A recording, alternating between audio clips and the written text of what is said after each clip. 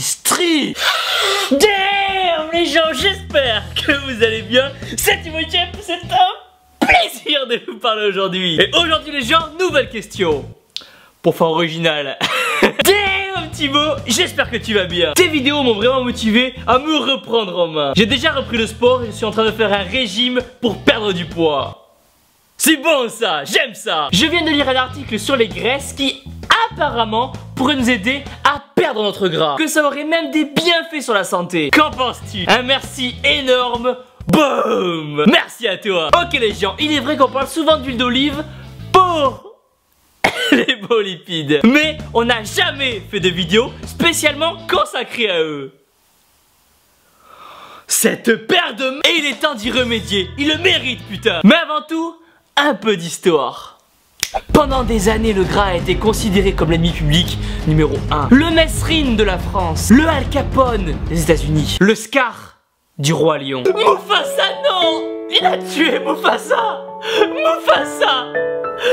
Mufasa! Oh Protéines On a reproché au gras d'être la cause de l'augmentation du cholestérol, de créer des problèmes cardiovasculaires, d'être la raison de l'obésité, d'avoir déclenché la guerre du Koweït, de m'être pris une gifle de l'espace par une petite samedi soir, à moins que ce soit parce qu'elle est pas aimée que je lui dise qu'elle a une paire de meules énorme. Bref, tout était contre ce petit et innocent lipide. Il était, il était malheureux, putain Et alors qu'il cherchait simplement à se faire accepter des autres, il était rejeté de tous et n'avait pas son mot à dire. Mais il ne perdit jamais espoir et un beau jour, alors qu'il allait travailler chez KFC, une étude est subitement apparue et a démontré qu'il y avait plein d'aspects positifs à manger plus de gras. Ah, je le savais Mais attendez, avant toute chose, il faut savoir que comme dans Harry Potter, il y a quatre maisons de lipides. Les polyinsaturés, les monoinsaturés, les saturés et les acides gras trans. Non. Non, je ferai pas de blague dessus, putain Les polyinsaturés, ce sont eux les bons lipides. Ils sont indispensables à notre corps qui ne peut pas les fabriquer. Et il en existe deux sortes. Les oméga 6 qui sont présents dans l'huile de tournesol et les céréales. Et les oméga 3 qui doivent être amenés par alimentation comme le saumon ou les sardines. Au fond de cette boîte. Mais on en trouve aussi dans l'huile de colza bio, les œufs bio ou directement en gélule. Ah. Hop, alors, on va regarder. Hum, on se croirait à...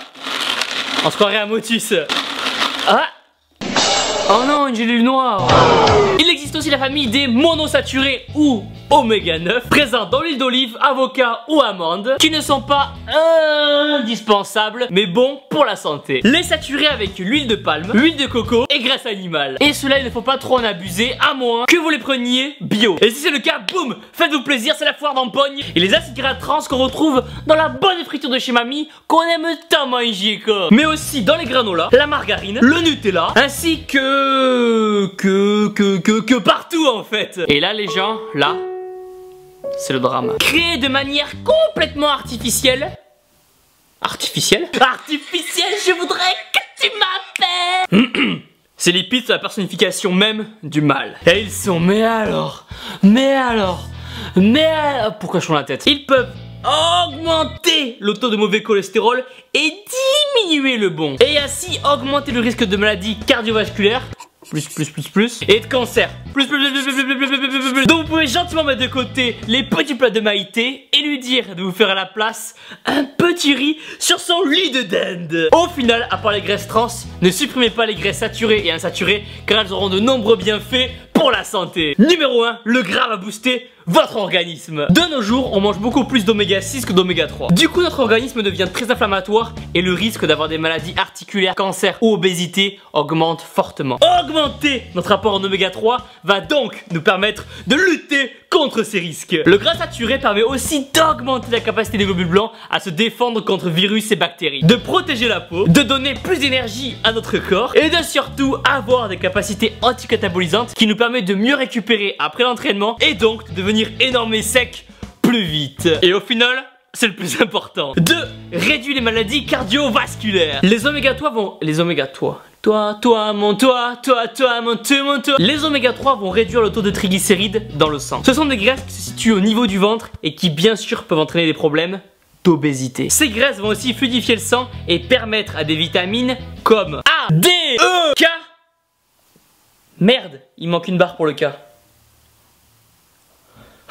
d'être transporté et absorbé par le corps. Et aussi de faire baisser la pression artérielle et de maintenir la présence de bon cholestérol. 3 augmente le niveau d'hormones. La synthèse des hormones est basée sur les lipides. Les hormones femelles comme les oestrogènes et mâles comme la testostérone sont donc produits à partir des lipides. Et si vous ne mangez pas assez, vous allez donc limiter cette production, baisser votre libido, voire même pire, réduire votre croissance musculaire. Et ça, c'est pas concevable Car croyez-moi les gens que si vous n'avez plus de libido et qu'en plus vous n'avez plus vos bras énormes et secs, je vous raconte pas la journée de merde que vous allez passer. 4 augmente le fonctionnement du système nerveux. Notre cerveau qui est composé à 60% de lipides devra toujours avoir un apport en oméga bien fonctionner. Les graisses vont donc participer à ce fonctionnement en apportant du glucose au cerveau qui est un carburant essentiel. Les oméga 3 comme le cerveau et les noix, le cerveau putain le saumon. Les oméga 3 comme le saumon et les noix vont aussi favoriser la transmission des connexions nerveuses, améliorer l'humeur, lutter contre la dépression et l'apparition de maladies comme Alzheimer. Donc, pour résumer les gens, une alimentation riche en graisse aide à lutter contre les maladies et possède de nombreux bienfaits pour le corps. Donc la prochaine fois que vous irez faire les courses, je veux que vous fassiez déborder votre caddie d'huile d'olive, de noix, d'amandes et d'avocat. Que la prochaine fois que vous irez faire un cheat meal chinois. Ah, chinois. Que vous jetiez sur les sushis au chaud... Putain Que vous jetiez sur les sushis au chaumon. Putain que vous jetiez sur les sushis au saumon Oui Et que vous demandiez d'échanger la sauce soja avec l'huile de colza et qu'à votre prochain rendez-vous avec une petite, au lieu de ramener votre bouteille de vin, vous rameniez celle de... Ce soir, parce que c'est toi, je t'ai ramené un petit millésime d'huile d'olive de Château Carrefour de 1957 à la tienne. Mmh. sa mère. Ah, Oh le con. Donc maintenant à vous de jouer et faites en sorte que le bon gras revienne dans votre alimentation. Et voilà les gens Pensez à mettre un pouce bleu de l'espace en bas de la vidéo À vous abonner Partagez la vidéo sur le mur de toutes les personnes Et dites-leur que maintenant elles ont le droit de manger du gras. Vous avez des réductions pour les compléments alimentaires. Les liens sont dans la description. Et surtout n'oubliez pas que vous vous êtes les meilleurs. que ce soit à la salle ou dans la vie de tous les jours, tu as gagné confiance en toi. Grâce à toi, beaucoup de personnes ont été inspirées et vont continuer de l'être. Et juste pour ça, j'ai qu'un mot à dire. Bravo.